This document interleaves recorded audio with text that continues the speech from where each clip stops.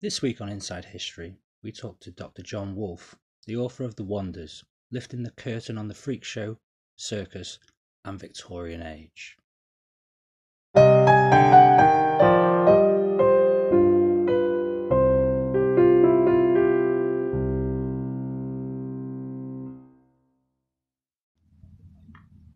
just want to start, um, John, by asking what prompted you to write this book in the first place? Yeah, it's a kind of strange one, isn't it? Um, you know what? It's been like a freakish obsession of mine for about 20 years. And uh, when I was about nine years old, I watched David Lynch's film The Elephant Man. Oh, that's brilliant film. Such a good film. Yeah. But you know, as a nine year old, it's also quite scary. And I remember vividly at the time feeling this sense of like fear um, as the Elephant Man emerges from the shadows of Victorian London. And yet at the same time feeling a kind of real compassion for Joseph Merrick, the man behind behind the, the mask. Um, and that that moment almost planted the seeds um, of a fascination with difference and otherness and freakishness, which ultimately sprouted in, you know, as an undergraduate when I started looking at the history of psychiatry. Then when I did my doctorate, I turned that into looking at physical difference um, in the sort of Victorian freak show, and then ultimately the book as well. So I've been with this subject for about 20 years, um, and I'm only 30. So it really is a freakish obsession, but one that was born from, from quite a young age. I think I think the thing that I love most about the Elephant Man is that yes, he, he's, he's he's got the bag over his head when he enters Royal London Hospital. and Yes, we get to see parts of it. David Lynch does it in such a great way where we only see so much. Yeah. he, he shows us what we want. He wants to show us. But the most amazing thing about that is once we start seeing the character of Joseph Merrick, who, who is called John in, in, in the film, but we- his real name's Joseph. Um, and we start seeing them as more human Yeah. we start seeing him as more human. Is is was that something which really mattered to you when you're going away writing about a book about sideshow freaks? Absolutely, that was what was that was a kind of the core of my project was trying to humanize those who had been deemed other and different in the Victorian period, and actually since then have been often presented in quite sensational ways. And you know, David Lynch's film was quite a sensitive portrayal of, of Joseph Merrick. But that film itself is interesting because David Lynch, you know, the arch postmodernist filmmaker, actually wrote the film based on one narrative at the time, a rather sentimental narrative constructed by uh, Joseph Merrick's surgeon, Frederick Treves. And Treves wrote this memoir um, in the 20th century, early 20th century, where he presented Joseph Merrick's life in the freak show as one of abject horror and debasement and cruelty and exploitation, and his sort of salvation in the London hospital, where he was presented uh, in this what in this refuge, and he could spend his remaining days in quiet leisure. So it was quite a sentimental Victorian portrait of Joseph Merrick's story. But when Frederick Treve po- wrote and uh, published his memoir, there was actually a counter narrative from one of the showmen who had exhibited Joseph Merrick at the London hospital. And he wrote uh, actually attacking Treve, saying, you know, the way you've presented our showman as sort of basely exploiting Joseph Merrick is unfair. He was well treated in the freak show, and you, Mr. Treves, was the one that really exploited him. He became a medical freak in your institution. You put him on display to your medical friends. You denied him a life of independence and agency. Um, so Joseph Merrick's life is actually constructed with different narratives, and David Lynch's film uses one narrative, the surgeon's narrative, but actually it's much more complex. So that was kind of one of the things that fascinated me about the story of Joseph Merrick more generally. How do you read his experiences? Because David Lynch would have us believe one thing, whereas actually the reality was a bit more complex. Yeah, because I mean, when I think back to that film, the, the owner of Joseph Merrick um, is quite nasty to him. I, I, I vividly remember now where he, he, he whacks the belt yeah, on him and says, "Stand up, stand up." yeah, But because I've I've done quite a bit of uh, reading on it myself as well, and and the the, the real was it Tom Norman? Tom Norman, Tom yeah. Norman. He always comes across as quite a respectable man, an entrepreneur of, of type. absolutely. So he wouldn't obviously treat someone like that necessarily because that's his livelihood. Yeah, totally. And that was what he. Tre- Frederick Treves publishes his memoir where it has this story of the Elephant Man, and Tom Norman responds um, in a series of articles claiming exactly that. He was like, We never treated Joseph Merrick like that. It would have been terrible for business if we did treat him like that.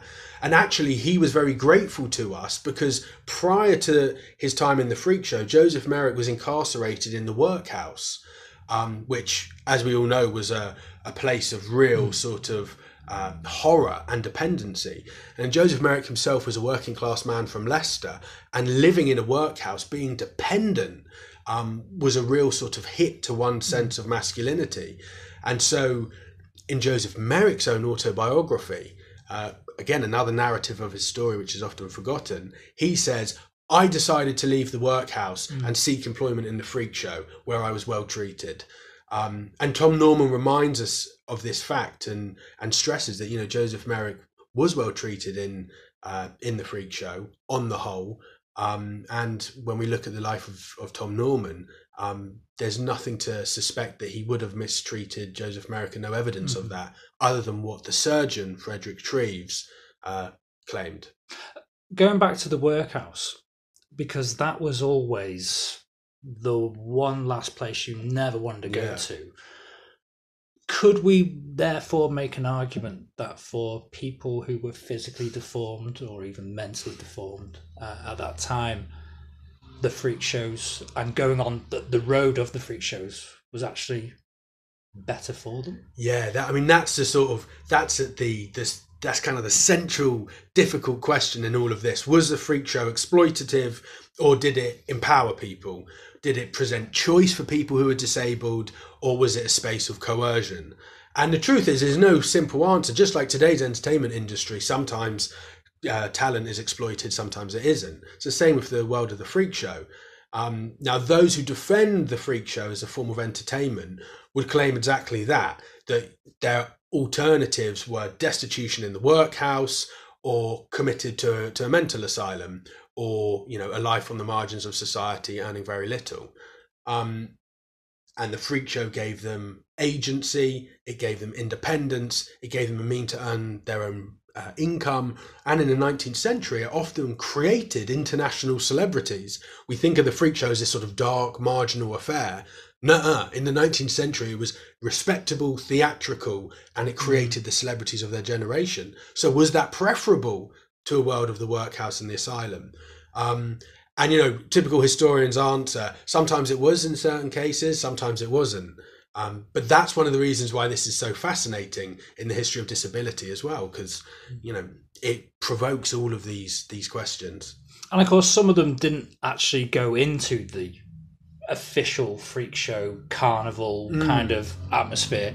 Some of them were actually kind of like self-employed. Yeah. In that sense, where they um, allowed people to come into their homes. And uh, in particular, I'm thinking of uh, Daniel Lambert. Mm. Um, could you tell us more about him? Yeah, so he, he's an amazing character. He uh, put himself on display in 1806 when he was in his 30s and about 56 stone. Wow. So, you know, big, big fat man. Yeah. Billed as a big fat man, one of world wonders.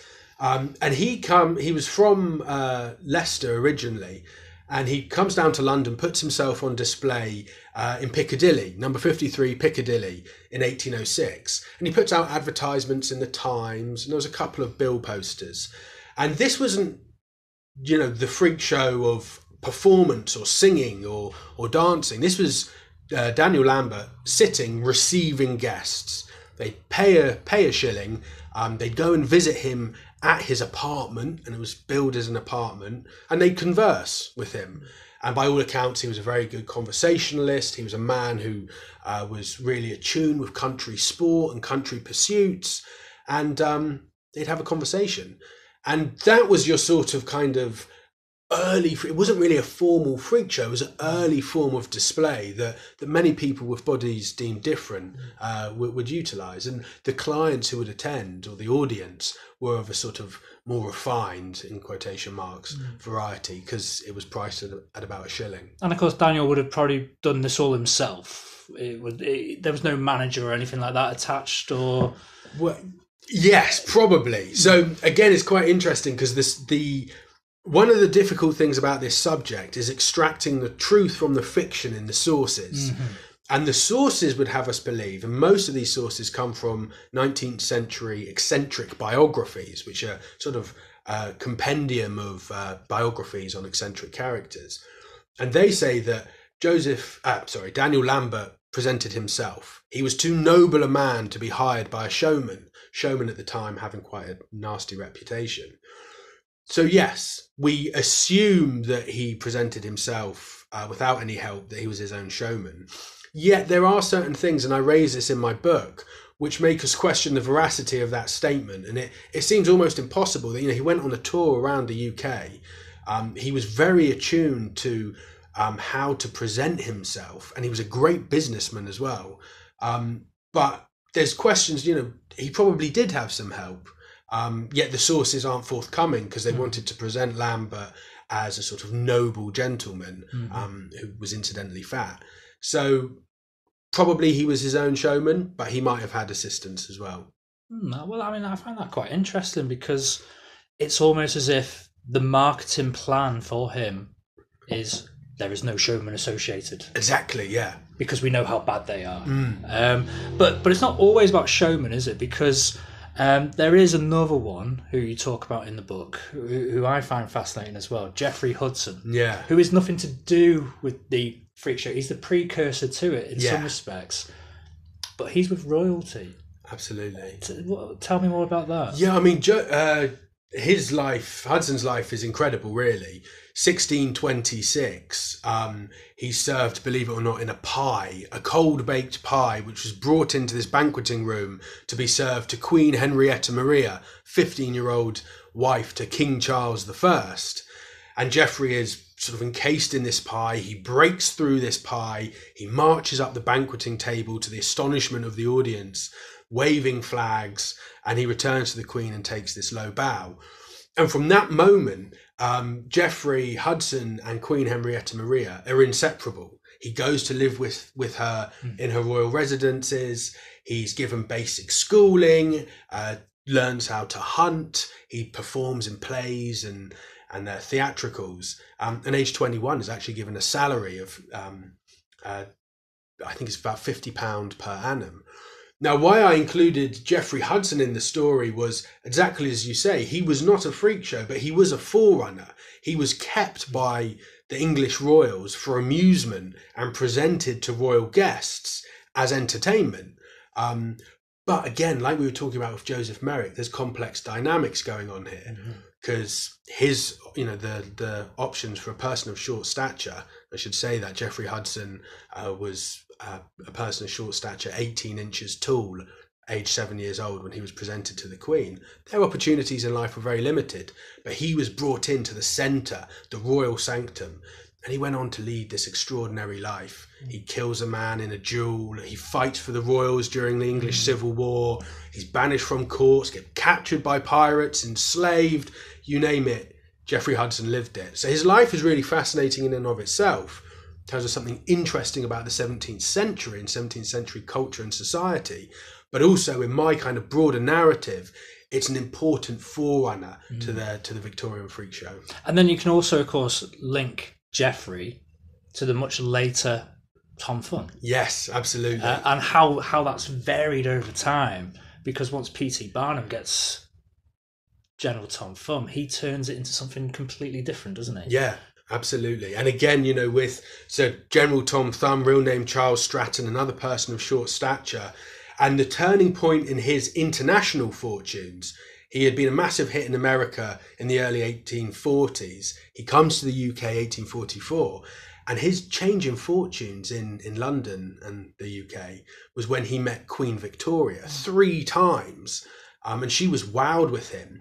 And suddenly Barnum presented Tom Thumb, his, you know, quote, amusing dwarf, as someone with royal connections. He was the pet of the palace, the Queen's dwarf. And this really propelled Tom Thumb into popular consciousness and actually international celebrity. Mm. And so, yes, there's the kind of comparisons with Jeffrey Hudson. You've got person of short stature used for entertainment, connected to royalty, which improved their mm. status. Yet Tom Thumb was operating in the world of the Victorian freak show, this popular form of entertainment, and um, he and Barnum made a hell of a lot of money as a result. I mean, because Barnum himself is an interesting character Yeah, in this story. I mean, it, just in case anyone's watched The Greatest Showman and think that Hugh Jackman looks like P.T. Barnum, it's the complete opposite. Really, isn't it? Yeah. I mean, it's. Uh, let's be honest. Um, I don't think P.T. Barnum's going to turn many heads no, compared to Hugh Jackman. Um, but, but the film itself is interesting, isn't it? Because it sets up a different narrative of Barnum, which one of which probably Barnum would be quite proud of. yeah, I love it. Uh, but at the same time, it's largely not true. Yeah, We have to view it as a as a as a film. Um, when did P.T. Barnum become obsessed with doing these kind of things with the American Museum and stuff like that? Yeah, so that I mean, so he was he was a sort of traveling showman, a man in between jobs in the 1830s. Um, and it was really in 1841 when he purchases the American Museum that he sort of really embarks on a career in the entertainment industry. And that's when he starts kind of collecting, for want of a better word, freak performers to put on display. Now, what the film does is present Barnum as this, you know, this great hero. And don't get me wrong, like it's got wonderful music. I love the Uh, film Good song. good songs, but uh, the history's crap. It was really bad. Um, and you know, again, I'm not one of these historians that like picks holes through through these things because there's a different medium that's trying to do something. Blah blah. But it missed a massive opportunity, and it totally whitewashed the past. And the truth is, P.T. Barnum first found fame on the back of a senile, paralysed, elderly slave named Joyce Heth, who Barnum lugged across the northeast of America, displaying her as the 161 year old nurse of George Washington. Now, she was, of course, not 161 years old, she was more likely 80. Um, and when she died on, on the job, Barnum organised a public dissection of her body and made a lot of money. And this kind of was his first sort of exposure um, to sort of popular culture. This that moment really propelled him into the minds of the American public. Now we don't hear any of that in The Greatest Showman. We don't know that Barnum was a slave owner who did lug this old woman around, who did once whip a slave fifty times when he suspected him of sleeve no of stealing. You know, Barnum was a man of his times, and he's got blotches on his moral record. Um, and in a way, I thought it was a shame that the film didn't offer a bit more nuance to Barnum's character. But it was after Joyce Heth that he purchases the American Museum in 1841, and in 1842 he comes across Charles Stratton, uh, four years old, 23 inches tall, and Barnum transforms him for the stage into General Tom Thumb, who becomes one of the world's first international celebrities. Um, so that's kind of the moment that Barnum really sort of explodes onto the, the scene. Could could we make the argument that with the Greatest Showman, he, he Hugh Jackman the, as as Barnum portrays Barnum as kind of like an everyman, Mm. whereas in reality he was actually exploitative. Could Ye- we could we make that argument? You could definitely make the argument. I wouldn't. It's so hard because you know there's always a danger in applying 21st century standards Mm. to you know 19th century men. And I stress Barnum was a man of his time, but and he changed over time as a, as an individual. But you know he was a slave owner. He was at the time accused of exploitation. He put Charles Stratton, General Tom Thumb, on stage when he was four years old. Mhm. Um, there were allegations of animal cruelty, child cruelty. Um, as I said, he was a slave owner. So you could definitely make the claim that this was a man who exploited performers.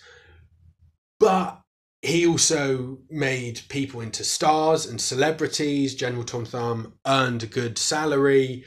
Um, and, you know, Barnum had a lot of, of, of goodness in his heart as well. Mhm. So he's a complex man of his time, but you could definitely argue that he was uh, exploitative. Um, but I wouldn't go too much to the extreme either because he had Mhm. he had some noble qualities as well. Because Tom from Charles Stratton is actually buried near Yeah, uh, P.T. Barnum as well. Um, the, the, the- I think is, is then there's not much distance that separates them. No, which, which kind distance. of tells us a lot about their relationship absolutely. and that he wanted to be near him. Yeah, um, yeah, they're buried in Bridgeport, Connecticut, um, and you know they had a very close relationship. And when Barnum became bankrupt in 1856, it was Tom Thumb who writes to Barnum and says, you know, my dear friend, I see you're in difficulty. Let me go on stage and help you recover your fortunes, mm-hmm. which is a really kind of touching, touching offer that, that Barnum did ultimately take up.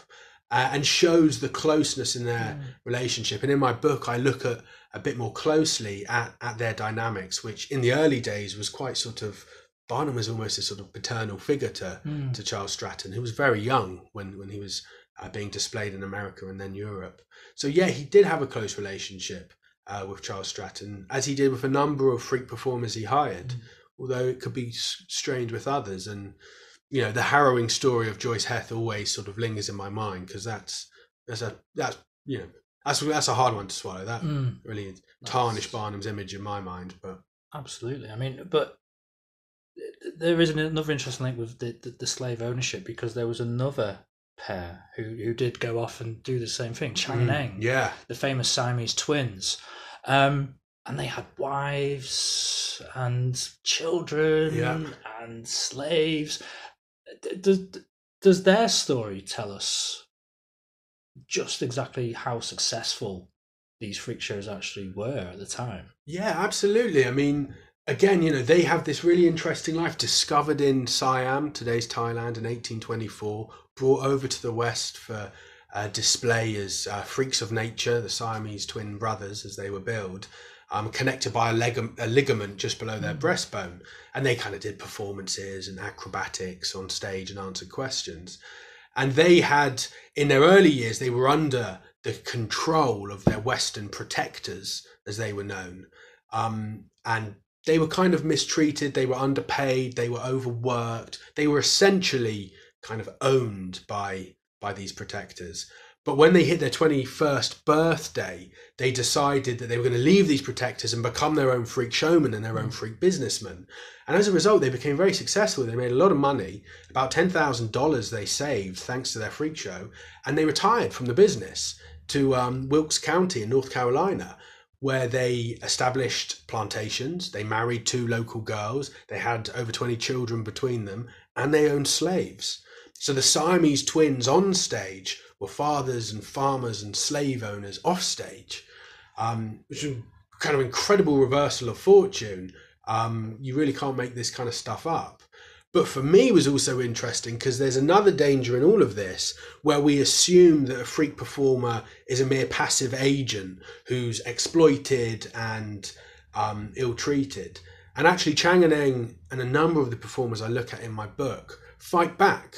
You know, they did have power, they did have control over their own lives, and they leave us with quite an uncomfortable legacy. Chang and Eng were slave owners. They dealt in child slavery.